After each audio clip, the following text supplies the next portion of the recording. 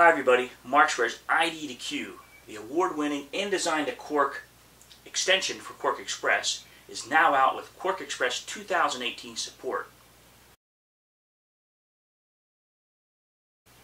That's right, you can now load up ID to Q right in QuarkXPress 2018 and also lower versions. Convert InDesign And then, just like always, you can do go with a click, convert InDesign document, select the InDesign document, CC 2018 or lower, you'd like to open, click open, and voila, there you have it. It's that easy to get your InDesign files opened and fully in an edible form right in QuarkXPress, and now in 2018.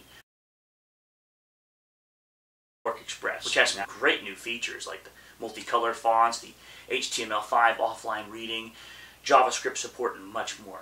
Some of these are unique only to the desktop publishing business. And of course, as Quark users, you know the hyphenation is just incredible. So why wait? Go get your latest version of ID to Q today over on markzware.com forward slash products forward slash ID to Q. And there you can get the latest information on this new version supporting 2018 of QuarkXPress. Check what the customers have to say on Markzware's ID to Q. I use ID to Q to take a 200 page book from InDesign to QuarkXPress. It saved me not hours, but days worth of time. It worked extremely well and was worth every penny. Wow. Thank you, David Dilling from Markzware. Wishing you a fantastic day.